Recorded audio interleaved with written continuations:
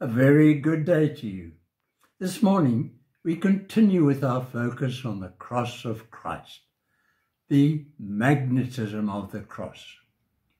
In the Gospel according to John chapter 12 and verse 32, we read these words of Jesus. And I, if I be lifted up from the earth, will draw all men to myself.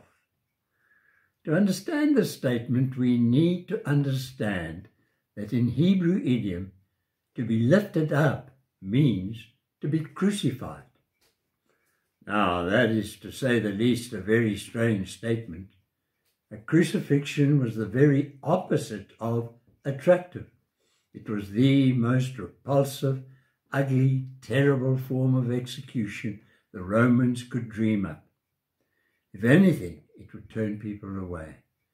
And in addition, for the Hebrews, to be crucified was to be cursed. And yet, Jesus says, I, if I be lifted up, will draw all men to myself. How can this be so? Firstly, believe it or not, it appeals to our understanding. Many of you saw the movie The Passion of Christ quite a few years ago.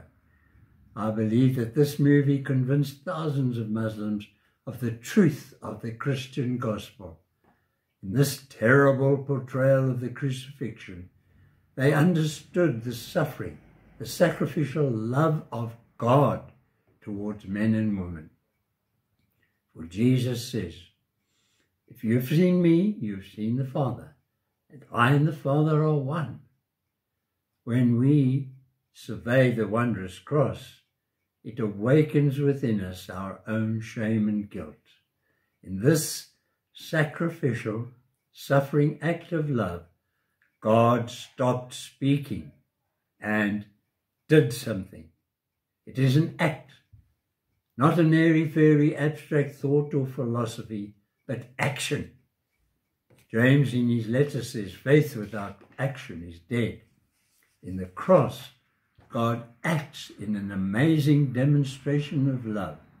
Yes, the cross appeals to our understanding. Secondly, the cross appeals to our dignity as human beings. Have you ever thought of the dramatic contrast between coercion and persuasion that confronts us on Calvary? On the one side, the Roman Empire, one of the mightiest concentrations of compulsive power in history, and on the other, Jesus saying, I, if I be lifted up from the earth, will draw all men to myself. Lift me up, even though it be upon a cross. Make visible my quality of life and love and sacrifice. And in the long run, the hearts of men and women will respond to it and I will draw all of them to myself. This contrast has terrific reality in our world today.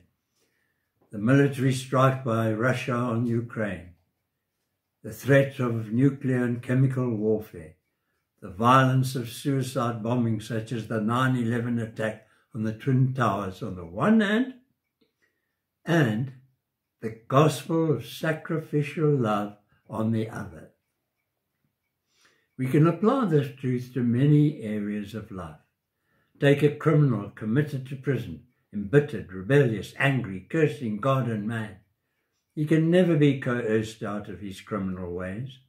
You can imprison him for years, put him in solitary confinement, starve him, beat him, do anything you like to his body, but you can never conquer his spirit, just because he is a human being and not an animal.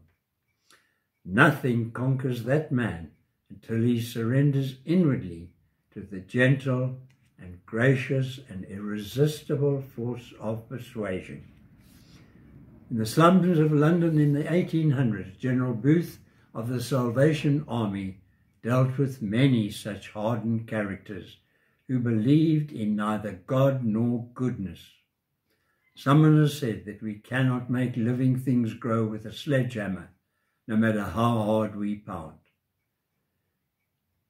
Is it not true that whatever is finest in our character was not flogged into us, but was drawn out by the sight of something lovely and good and sacrificial to which we responded. When I was in Standard 6, grade 8 today, I was caught cribbing in a Latin class. The teacher, who happened to be the school chaplain, called me into his study, and I thought I was going to be sent to the housemaster for four or six of the best, caning. But instead he said to me, Your dad and your grandmother would not like to know about this. Don't ever crib again. And I never cribbed again.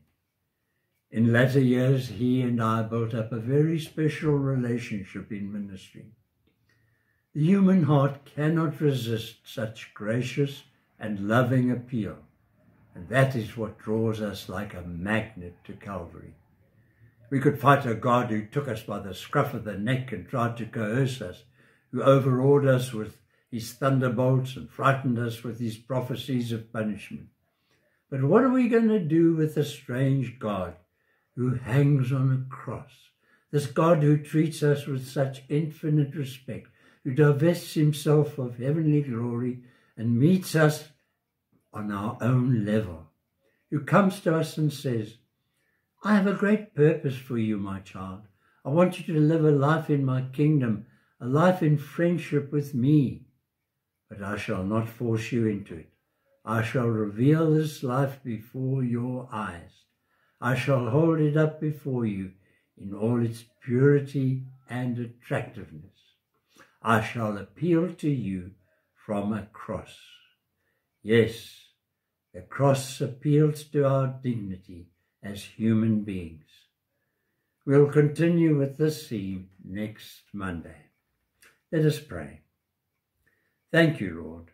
Thank you again and again for the magnetism of the cross that draws us so wonderfully to the power of your sacrificial love in Jesus Christ our Saviour. Help us to always have the cross before our eyes as we deal with the problems of corruption and violence in the world around us. In Jesus' name, Amen.